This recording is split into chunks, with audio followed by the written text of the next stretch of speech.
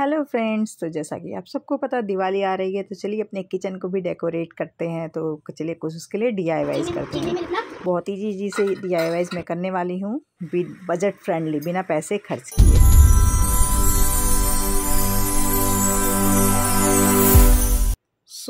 मुझे, मेरे पास ये कुछ कबाड़ पड़े हुए हैं, मुझे इसी से डी करनी है। तो मैंने सोचा कुछ आइडिया नहीं आ रहे थे। चलिए अमेजोन पे देखते हैं। तो मुझे एक डी पसंद आया, लेकिन मेरे पास कुछ हार्ड सा कार्डबोर्ड नहीं था। मेरे पास बस एक केक का बेस था। तो मैंने सोचा चलो इसी से बनाते हैं। तो बस मैं इसी से बना रही हूँ। So welcome back to our channel everything is here with Manjula मैं मंजुला आपका बहुत बहुत स्वागत करती हूँ। अगर आप मेरी वीडियो को पहली बार देख रहे हैं तो प्लीज़ चैनल को सब्सक्राइब कर लीजिएगा और साइड में दिए गए बेल आइकन को ज़रूर हिट कर लीजिएगा, जिससे आपको आने वाले मेरे चैनल की वीडियोज़ की नोटिफिकेशन मिल सके। तो देखिए, मैंने इसको कट करके इस तरीके से और साइड में मार्किंग टेप लगा दिया, उसके बाद वाइट कलर से इसको कलर कर लिया इसको कलर करके अच्छे से रख देंगे ड्राई होने के लिए। तो देखिए, मेरा कलर हो गया है। मैं हल्का सा इस पर ब्लैक कलर भी लूँगी, बहुत हल्का सा लेना है, जिससे ये थोड़ा सा वुड वाला जो स्ट्रक्चर होता है ना, उस तरीके से बनाने की मैं ट्राई कर रही हूँ। देखिए, बहुत हल्का सा लेना एकदम ड्राई विदाउट वाटर इस तरीके से इसको। देखिए, और उसके बाद साइडों में जिसका बॉर्डर है, इसको हम प्रॉपर पूरा ब्लैक कर देंगे। देखिए, पूरा इसको चारों साइड से हमें ब्लैक कर देना है, एकदम अच्छे से। तो ये हमारा ड्राई हो गया। चलिए, इसको मैं डेकोरेट करती हूँ। तो इसको, इसके लिए मैं ऑर्गेनिक पेंट वाला जो आता है, पेन, मैं उसका यूज़ कर रही हूँ। अगर आपको लिंक चाहिए होगा तो प्लीज़ आप कमेंट सेक्शन बताइएगा, मैं आपको प्रोवाइड करवा दूँगी। तो इस पर आप अपने अकॉर्डिंग कोई भी क्वेट्स लिख सकते हैं, लेकिन मैं अमेजोन इंस्पायर्ड डी ये वाली बना रही हूँ। तो जो उस पर लिखा है, मैं सेम वही लिख रही हूँ, जो उस पर लिखा था ब्लेस द किचन वही सेम मैं यहाँ पे लिख रही हूँ, जैसा डिज़ाइन इसमें था सेम टू सेम मैंने यहाँ पे बना दिया है।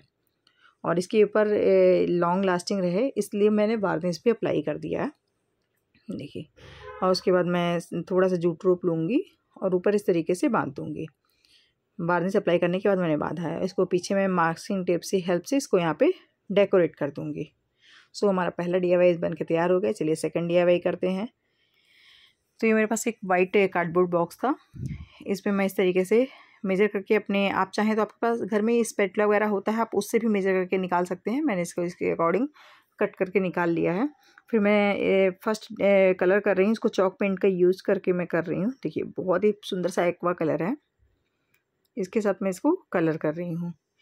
और मैं सेकंड वाला कलर आपको नॉर्मल आर्केलिक पेंट से भी दिखाऊँगी। बहुत सबके पास चौक पेंट नहीं होते हैं, इसलिए मैंने दोनों से करके दिखाया है, जिससे आपके लिए हेल्प हो सके। तो दूसरा मैं, देखिए नॉर्मल पेंट से यूज़ कर रही हूँ। आप किसी भी कलर का यूज़ कर सकते हैं, जो भी आपके घर में अवेलेबल हो। तो सारा हम कलर करके रख देंगे ड्राई होने के लिए। देखिए, अब थर्ड वाला मैं ग्रीन कलर से करूँगी। पैरेट ग्रीन होता है ना, इसको मैं पैरेट ग्रीन से कर रही हूँ।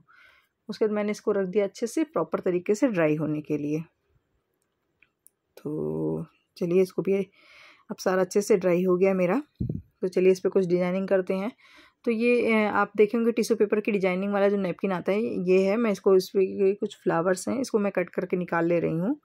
और इसमें मैं ग्लू लगा के और इसको मैं इसके ऊपर लगा दूँगी। देखिए, मैंने ग्लू अप्लाई कर दिया है। अगर आपको ज़रा सी भी मेरी डी आई मेरे डेकोरेशन वीडियो अच्छे लगते हो तो प्लीज़ मेरे चैनल को सब्सक्राइब कर लीजिएगा। अगर आप पहली बार मेरी वीडियो को देख रहे हैं और कमेंट सेक्शन में मुझे ज़रूर बताइएगा कौन सी डी सबसे ज़्यादा अच्छी लग रही है। उसके देखिए, मैं थोड़ा सा भी कट करके पेपर ऊपर भी लगा दूँगी। इस तरीके से यहाँ पे मैंने, यहाँ इस तरीके से लगा दिया फिर बीच में होल था, उसको मैंने वहाँ पे अपने ब्रश से पीछे से इस तरीके से निकाल दिया। ऐसे ही मैंने सारे पे लगा दिया है। उसके मैं यहाँ भी पेन का ही यूज़ कर हूँ अर्केलिक पेंट वाला पेन आता है। फ़र्स्ट पे मैं लिख रही हूँ ईट और इसको थोड़ा सा इसे डार्क कर देंगे।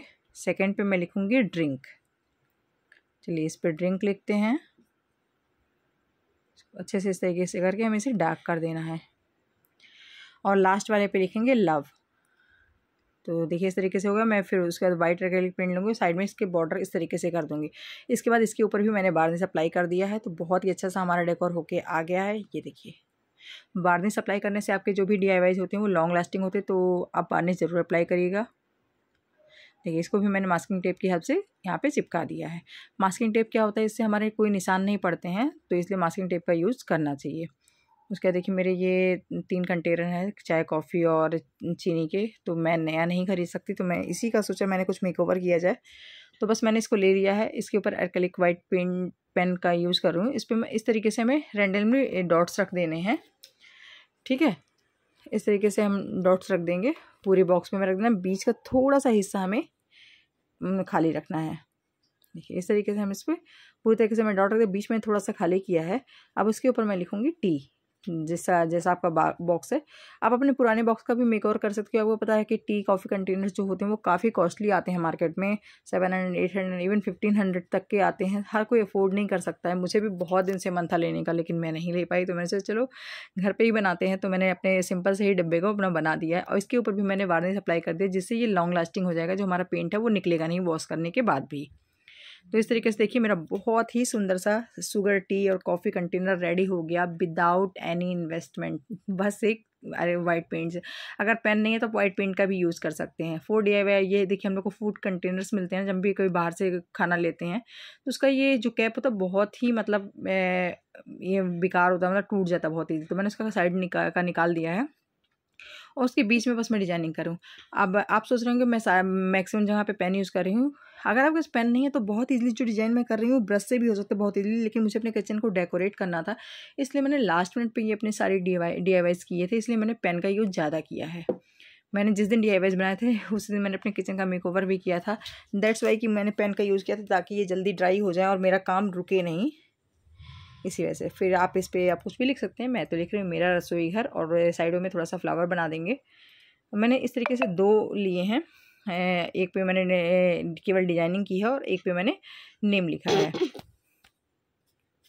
उसके बाद मैं इसको भी टेप की हेल्प से लगा दूँगी। देखिए, इसको भी मैंने यहाँ पे लगा दिया है। अब चलिए, ये कुछ ऑर्गेनाइजर बनाते हैं, क्या होता है, स्पेस सेविंग, आपको पता है कि हम लोग के पास कितने स्पेस की कमी हो जाती है। तो चलिए, मैं कुछ ऑर्गेनाइजर बना रही हूँ जो हमारे स्पेस को काफ़ी सेव करेंगे। तो मेरे पास ये एक लोबिया का बॉक्स है। ये बॉक्स ऑलरेडी बहुत सुंदर है, इसलिए मैं इसके ऊपर कोई भी पेपर वगैरह नहीं लगाऊँगी। आप चाहें, अगर आपका प्लेन कार्डबोर्ड बॉक्स है तो आप उसके ऊपर कोई भी पेपर या कोई भी पैकेट जो भी अब गिफ्ट रेपर आता है, उसको आप उससे कवर कर सकते हैं। और उसका मैं सेलो टेप की हेल्प से इसको इस तरीके से कट करके बनाऊँगी। देखिए, इस तरीके से और मैंने ये एक कार्डबोर्ड का जो ढक्कन था मैंने कट करके नीचे लगा जिससे ये इसका बेस जो है काफ़ी मज़बूत हो जाए और ये वाटर प्रूफ रहे। इसके लिए मैं सेलो टेप का, चौड़ा वाला जो सेलो टेप होता है, उससे मैं पूरे बॉक्स को कवर करने वाली हूँ। इससे हमारा क्या है, ये वाटर प्रूफ रहेगा और लॉन्ग टाइम तक। इस तरीके से मैंने दो तीन बना ली है मामार्स का बनाया इस तरीके से आप चाहें तो अपना बना के अपने स्पेस सेविंग कर सकते हैं। फिर मैं इसको अपने वार्ड्रोब में रखूँगी। अच्छी खासी हाइट है तो इससे प्रॉपर तरीके से हमारे कप ग्लास ऑर्गेनाइज हो जाते हैं, जो हम ऐसे रखते तो एक ही होता है। तो हमारा काफ़ी मतलब स्पेस सेव हो जाता है। देखिए, इस तरीके से मैंने बना लिए हैं। चलिए, नेक्स्ट डी करते हैं तो ये मेरे बॉक्सेस हैं। मतलब मैं बाहर से नहीं खरीदती हूँ, मेरी जो भी चीज़ें रहती हैं उन्हीं से बॉक्सेस से, उन्हीं में सामान रखती थी। तो काफ़ी ख़राब हो गए थे, मैंने सोचा चलो इसको भी कलर कर लेते तो मैंने इस पर सिंपल सा गोल्डन स्प्रे कलर कर दिया है तो बहुत ही सुंदर हो गया। सेवन्थ डी करते हैं। ये मेरा स्टील का ऑर्गेनाइजर था, बहुत पुराना था, इस पर कुछ मतलब मुर्चे वगैरह भी लग गए थे तो काफ़ी बेकार हो गया था। मैंने सोचा चलो इसको कलर कर देते हैं। तो इसको भी मैंने स्प्रे पेंट से वाइट कलर से कलर कर दिया है तो ये भी हमारा एकदम न्यू सा ऑर्गेनाइजर बन के रेडी हो गया है। ये देखिए, बहुत ही सुंदर सा, एकदम वाइट कलर का ऐसा लग रहा है, मैंने न्यू लेके आई तो बहुत ही सुंदर लगा।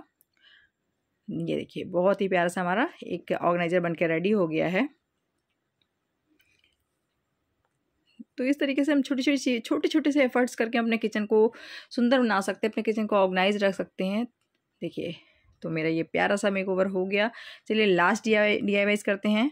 इस वीडियो की ये देखिए मेरा एक ऑर्गेनाइजर है, ये बहुत ही बुरी कंडीशन में बहुत ही मुरझा हो गया। इस पर भी मैं वाइट पेंट का ही यूज़ कर रही हूँ स्प्रे और ये हमारा बहुत ही ब्यूटी सा ऑर्गेनाइजर तैयार हो गया। तो अगर आपको मेरी वीडियो पसंद आई हो तो प्लीज़ चैनल को सब्सक्राइब कर लीजिएगा, जितनी ज़्यादा से ज़्यादा लोगों को शेयर कर सकते हैं। शेयर करिएगा। Bye bye